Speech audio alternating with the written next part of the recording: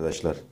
Bazı arkadaşlarımız bu Aciko ABE 5014 modelin bağlantı videosunu benden istediler. Sizlere onu kendi çapımda anlatmaya çalışacağım.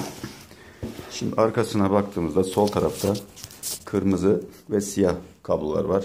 Kırmızıyı zaten hepimiz biliyoruz. Artı, siyah, eksi. Bir de RCA girişler vardır. Teyipte RCA giriş var ise amfi girişi yani buradan da bağlayabilirsiniz. Bir RCA kablo alaraktan buradan teybe geçiş yapabilirsiniz.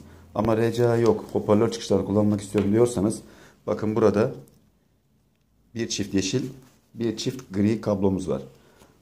Bir çift yeşilin beyaz çizgili olanları artı uçlardır. Diğerleri şase uçlarıdır hoparlör uçlarının. Yani bunu beyaz çizgili olanları teybin artı uçlarına bağlayacağız.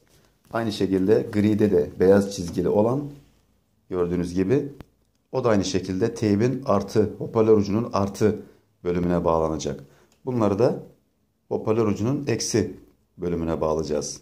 Aynı şekilde yeşilde de çizgisiz olan. Burada gördüğünüz sarılar ve griler. Bunlar da hoparlör çıkışlarıdır.